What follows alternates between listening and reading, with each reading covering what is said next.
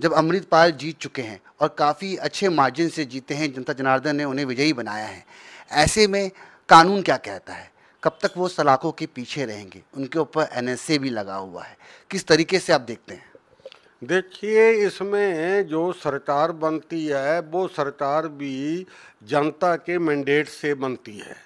सो जब अब मैंडेट आ गया, भाई अमृतपाल सिंह की हमायत में तो कोई सरकार ये हिम्मत नहीं कर सकती कि उनको एनएसए में डिटेन करती रहेगी। उसी तरह जो डिटेंशन है, वो चलती रहेगी। तो ये तो रिवोट करनी पड़ेगी। हर हालत में रिवोट करने पड़ेगी। कानून कुछ कहता हो, ना कहता हो, मगर जनता का मैंडेट है जो है, ये सबसे बड़ी बात है कि डेमोक्रेसी में। यही बात सुप्रीम कोर्ट ने कही है कि डेमोक्रेसी में लोगों का मैंडेट सबसे बड़ा होता है। सो जब मैंडेट जो है, वो कंप्लीट मैंडेट आ गया जमानतें जब्त हो गई सभी जो जो उनके जो विरोधी थे, जो उनके राइवल्स थे तो ऐसी सूरत हाल में उनको रिहा करना लाजमी है और हर हालत में वो जो डिटेंशन रिपोर्ट होके वो रिलीज़ होंगे। हमारी जनता जानना चाहती है कि जिन्होंने उन्हें वोट दिया, और वही जनता जानना चाहती है कि क्या अमृतपाल अब सलाखों के बाहर आ पाएँगे और कब तक आ पाएँगे, इसमें कितने दाव पेच हैं, जो रुकावटें पैदा करती हैं, उनको बाहर आने से रोकती हैं? मैं समझता हूँ कि कोई दाव पेच नहीं है, कोई रुकावट नहीं है। ये भगवंत मान की जो सरकार थी, इसीलिए बुरी तरह से पराजित हुई है पंजाब में कि उन्होंने भाई अमृतपाल सिंह को नजायज गिरफ़्तार कर लिया और जनता ने उस गिरफ्तारी के खिलाफ फतवा दे दिया। क्योंकि भगवंत मान सरकार ने ये बहाना लगाया था, ये प्रिटेक्ट किया था कि इनके जो भाषण हैं, उससे हिंदू सिखों के बीच में जो है, वो दरार पड़ती है। इनफैक्ट ये बिल्कुल झूठी बात थी। भाई अमृतपाल सिंह ने किसी धर्म के खिलाफ कोई बात नहीं कही। ना कोई ऐसी बात है जिससे इनमें आपस में कोई दरार पड़ती हो। तो ऐसी सूरत हाल में जिसमें इनको गिरफ़्तार किया गया, अब तो वजह नहीं रहती कि मैंडेट के बाद ये मैंडेट भाई अमृतपाल सिंह की हमायत में तो आया है तो उसके साथ सारे पंजाब में भगवंत मान की सरकार के खिलाफ भी मैंडेट आया है। तो ऐसी सूरत में भगवंत मान की सरकार के पास कोई ऐसी वजह नहीं है कि वो डिटेंशन को रिवोट करे। दूसरी बात कि डिब्रूगढ़ में भाई अमृतपाल सिंह को इसलिए भेजा गया था क्योंकि जो ये भाजपा की सरकार है, सेंटर में, वो सरकार इसके साथ मिली हुई थी, आम पार्टी के साथ। आम पार्टी उनके साथ मिली थी, ये उनके साथ मिले थे, क्योंकि असम में जो है वो बीजेपी गवर्नमेंट है तो उसने कंसेंट किया कि हमारी जेल में भेज दो। तो जो भाजपा है, वो भी लगभग सत्ता में फिर आ गई है वापस। तो ऐसी सूरत हाल में ये देखा जाएगा कि कौन सी पार्टी जो है पहले एक्ट करती है, ये आम पार्टी करती है या भाजपा सरकार करती है? तो ये तो दोनों में रेस होगी कि ये करते हैं कि वो करते हैं। जो पार्टी पहले एक्ट करेगी इस डिटेंशन को रिवोट करने के लिए, क्योंकि यदि भाजपा रिवोट सीधे तौर पर नहीं कर सकती मगर वो कह सकती है कि हम डिब्रूगढ़ जेल में नहीं रखेंगे। तो कोई भी जो स्टेट है, उसकी हुकूमत इनको डिब्रूगढ़ किसी भी जेल में रखने के लिए तैयार नहीं होगी। तो पंजाब में वापस लाना पड़ेगा। तो पंजाब में ये भगवंत मान सरकार की हिम्मत नहीं है, उसमें इतना साहस नहीं है कि वो पंजाब की किसी भी जेल में भाई अमृतपाल सिंह को तब्दील करके जो है डिटेंशन उसको निरंतर जारी रख सके। सो ऐसी सूरत हाल में जो है, ये तो पहल है कि किसने करनी है। मेरे ख्याल से आप की जो सरकार है भगवंत मान सरकार है, वो ये कोशिश करेगी कि हम भाजपा से नंबर ले जाएँ और इनकी जो डिटेंशन है, उसको पहले ही रिपोर्ट कर दें। मेरा ख्याल है कि कुछ दिनों की बात है डिटेंशन रिपोर्ट होने के नज़दीक है। मगर जो उनके ऊपर एनएसए लगा हुआ है, उसका क्या होगा? एनएसए की रिपोर्ट करना ना वो तो सिर्फ़ भगवंत मान सरकार के प्रव्यू में है। उसके अधिकार क्षेत्र में है कि भगवंत मान एक मिनट में एनएसए को रिपोर्ट कर सकते हैं। वो तो जो डिप्टी कमिश्नर अमृतसर है, उसकी सेटिस्फेक्शन पर जो था, ये नेशनल सिक्योरिटी एक्ट जो तो लगा था। जो डिप्टी कमिश्नर अमृतसर है, वो जो है भगवंत मान सरकार के मतहत है। तो वो कह देंगे तो कर देगा ये भाई मैं सेटिस्फाई हूँ, अब ये एनएसए जो है, ये निरंतर जारी नहीं रहना चाहिए इसको तो रिवोट किया जाए, जो तो एक लाइन लिखनी है। उसमें कोई वजूहत देने की आवश्यकता नहीं होती कि कोई उसमें ये भी लिखा जाए, ये भी लिखा जाए, ये तो एक लाइन में है उसको चीफ मिनिस्टर जो है अप्रूव कर देगा, और जो डिटेंशन है रिवोट हो जाएगी। आप डिब्रूगढ़ जा रहे हैं कल और हाँ, क्या? मैं कल तो डिब्रूगढ़ जा रहा हूँ। मेरी जो मीटिंग है भाई अमृतपाल सिंह खालसा के साथ वो पहले से ही निश्चित थी। तो पिछली दफ़ा मैं उनको 18 मई को मिला था। 18 मई को ही हमारी जो मुलाकात थी वो पाँच की फिक्स हो गई थी और उसके बाद मैंने परमिशन ले ली थी। तो उसी सिलसिले में आज मैं दिल्ली में रुका हूँ। कल तो छः बजकर तीस मिनट पर मेरी फ़्लाइट है। गुड न्यूज़ तो मिल चुकी होगी अमृतपाल जी को। हाँ जी क्या रिएक्शन है उनका? हाँ गुड न्यूज़ नहीं रिएक्शन का तो नहीं मालूम है क्योंकि अभी टेलीफोन सर्विस जो है वो रिस्टोर नहीं की गई है। शायद कल तो हो जाए। यहाँ परसों तो हो जाए क्योंकि इलेक्शन कमीशन जो था शाम का उसने ये बंद कर दी थी टिल इलेक्शन रिजल्ट्स तो इलेक्शन रिजल्ट्स सारे देश में हो गए हैं तो शायद कल तो रिस्टोर हो जाए। पर उनको मालूम है, मालूम इसलिए है कि टेलीविज़न की सहूलत मिली हुई है और टेलीविज़न में ये खबर तो आती हो आती है। तो हम ये प्रज्यूम कर सकते हैं कि उनको इसके बारे में नॉलेज है और इसके बारे में मालूम है। तो हम अपनी जनता जनार्दन को ये बता दें, आपके माध्यम से अपने कैमरे के माध्यम से, अपने चैनल के माध्यम से कि अमृतपाल जल्द ही सलाखों से बाहर आ सकते हैं। उन्हें वोट दिया। और वही जनता जानना चाहती है कि क्या अमृतपाल अब सलाखों के बाहर आ पाएँगे और कब तक आ पाएँगे?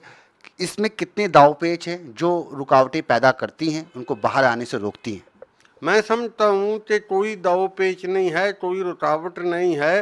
ये भगवंत मान की जो सरकार थी, इसीलिए बुरी तरह से पराजित हुई है। पंजाब में कि उन्होंने भाई अमृतपाल सिंह को नजायज गिरफ़्तार कर लिया और जनता ने उस गिरफ्तारी के खिलाफ फतवा दे दिया। क्योंकि भगवंत मान सरकार ने ये बहाना लगाया था, ये प्रिटेक्ट किया था कि इनके जो भाषण हैं, उससे हिंदू सिखों के बीच में जो है, वो दरार पड़ती है। इनफैक्ट ये बिल्कुल झूठी बात थी। भाई अमृतपाल सिंह ने किसी धर्म के खिलाफ कोई बात नहीं कही। ना कोई ऐसी बात है जिससे इनमें आपस में कोई दरार पड़ती हो। तो ऐसी सूरत हाल में जिसमें इनको गिरफ़्तार किया गया, अब तो वजह नहीं रहती कि मैंडेट के बाद ये मैंडेट भाई अमृतपाल सिंह की हमायत में तो आया है तो उसके साथ सारे पंजाब में भगवंत मान की सरकार के खिलाफ भी मैंडेट आया है। तो ऐसी सूरत में भगवंत मान की सरकार के पास कोई ऐसी वजह नहीं है कि वो डिटेंशन को रिवोच न करे। दूसरी बात कि डिब्रूगढ़ में भाई अमृतपाल सिंह को इसलिए भेजा गया था क्योंकि जो ये भाजपा की सरकार है, सेंटर में वो सरकार इसके साथ मिली हुई थी, आम पार्टी के साथ। आम पार्टी उनके साथ मिली थी, ये उनके साथ मिले थे। क्योंकि असम में जो है, वो बीजेपी गवर्नमेंट है तो उसने कंसेंट किया कि हमारी जेल में भेज दो। तो जो भाजपा है, वो भी लगभग सत्ता में फिर आ गई है वापस। तो ऐसी सूरत हाल में ये देखा जाएगा कि कौन सी पार्टी जो है, पहले एक्ट करती है, ये आम पार्टी करती है या भाजपा सरकार करती है। तो ये तो दोनों में रेस होगी कि ये करते हैं कि वो करते हैं। जो पार्टी पहले एक्ट करेगी इस डिटेंशन को रिवोट करने के लिए, क्योंकि यदि भाजपा रिवोट सीधे तौर पर नहीं कर सकती, मगर वो कह सकती है कि हम डिब्रूगढ़ जेल में नहीं रखेंगे। तो कोई भी जो स्टेट है, उसकी हुकूमत इनको डिब्रूगढ़ किसी भी जेल में रखने के लिए तैयार नहीं होगी। तो पंजाब में वापस लाना पड़ेगा। तो पंजाब में ये भगवंत मान सरकार की हिम्मत नहीं है, उसमें इतना साहस नहीं है कि वो पंजाब की किसी भी जेल में भाई अमृतपाल सिंह को तब्दील करके जो है डिटेंशन तो निरंतर जारी रख सके। सो ऐसी सूरत हाल में जो है, ये तो पहल है कि किसने करनी है। मेरे ख्याल से आप की जो सरकार है भगवंत मान सरकार है, वो ये कोशिश करेगी कि हम भाजपा से नंबर ले जाएँ और इनकी जो डिटेंशन है, उसको पहले ही रिपोर्ट कर दें। मेरा ख्याल है कि कुछ दिनों की बात है डिटेंशन रिपोर्ट होने के नज़दीक है। मगर जो उनके ऊपर एनएसए लगा हुआ है, उसका क्या होगा? एनएसए की रिपोर्ट करना ना वो तो सिर्फ़ भगवंत मान सरकार के प्रव्यू में है। उसके अधिकार क्षेत्र में है कि भगवंत मान एक मिनट में एन एस एनएसए को रिपोर्ट कर सकते हैं। वो तो जो डिप्टी कमिश्नर अमृतसर है उसकी सेटिस्फेक्शन पर जो था ये नेशनल सिक्योरिटी एक्ट जो सो लगा था। जो डिप्टी कमिश्नर अमृतसर है वो जो है भगवंत मा, मान सरकार के मतहत है। तो वो कह देंगे तो कर देगा ये भाई मैं सेटिस्फाई हूँ। अब ये एन ए जो है, ये निरंतर जारी नहीं रहना चाहिए। इस तो रिवोट किया जाए, जो तो एक लाइन लिखनी है। उसमें कोई वजूहत देने की आवश्यकता नहीं होती कि कोई उसमें ये भी लिखा जाए, ये भी लिखा जाए। ये तो एक लाइन में है उसको चीफ मिनिस्टर जो है अप्रूव कर देगा, और जो डिटेंशन है रिवोट हो जाएगी। डिब्रूगढ़ जा रहे हैं कल और हाँ, क्या? मैं कल तो डिब्रूगढ़ जा रहा हूँ। मेरी जो मीटिंग है भाई अमृतपाल सिंह खालसा के साथ वो पहले से ही निश्चित थी।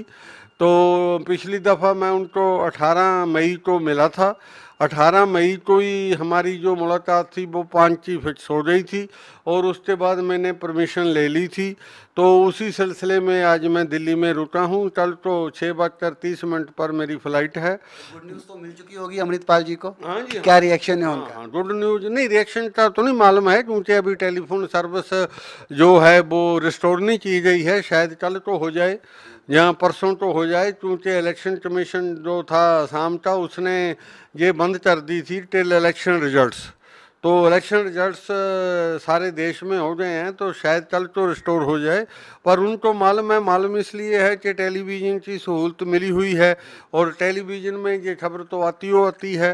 तो हम ये प्रज्यूम कर सकते हैं कि उनको इसके बारे में नॉलेज है और इसके बारे में मालूम है। तो हम अपनी जनता जनार्दन को ये बता दें, आपके माध्यम से। अपने कैमरे के माध्यम से अपने चैनल के माध्यम से कि अमृतपाल जल्द ही सलाखों से बाहर आ सकते हैं।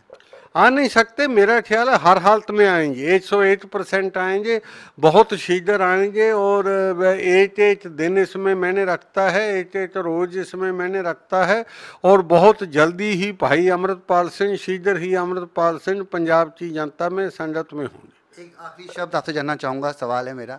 क्या कहेंगे? लोकतंत्र के इस पर्व को लेकर जो कि आज घोषणा का दिन है, परिणाम का दिन है और लोकतंत्र की जीत हुई है, मानते हैं? देखिए, लोकतंत्र की बहुत बड़ी विजय हुई है। लोकतंत्र का बहुत बड़ा महत्व है। जो जनता का फतवा होता है, वो आखिरी फतवा होता है। डेमोक्रेसी का जो बेसिक और फंडामेंटल जो प्रिंसिपल है, वो जनता का फतवा है। तो जनता ने बड़ा जो फतवा दिया है, वो बहुत विशाल मार्जिन से दिया है। ये नहीं है कि कोई कंटेस्ट था उसमें। कोई कंटेस्ट नहीं था, सभी उम्मीदवारों की जो सिक्योरिटी है, जो जमानत है, वो जब्त हो गई है। और बुरी तरह से वो पराजित हुए हैं तो जनता ने एक बड़ा देकर उनकी गिरफ्तारी को नजाज ठहराया है। इससे दोनों प्रभावित हैं, आम आदमी पार्टी भी और भाजपा भी। जो इसमें पहल करेगा, वो लोगों में जो होगा, उसमें ठीक माना जाएगा कि इसने जो कानून के मुताबिक सही काम किया है।